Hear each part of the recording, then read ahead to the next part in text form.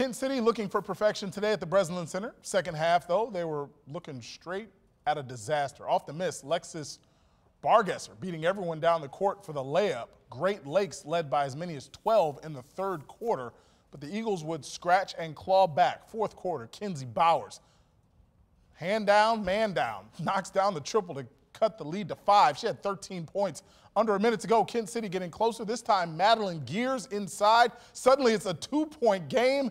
Eagles fans are really digging it, but unfortunately for them and their team, that's where the great Kent City comeback would end. Next Eagles possession, Bowers driving but can't tie it up. 52 to 50 was how it ended. Kent City's dream of a perfect season falls just short. Even though we didn't get the outcome we wanted, it's still so much fun to play at the Breslin and play with this team that I've been playing with since I've been young, and it's just so much fun. I'll always remember this great season, this great team, and the fun we got to experience.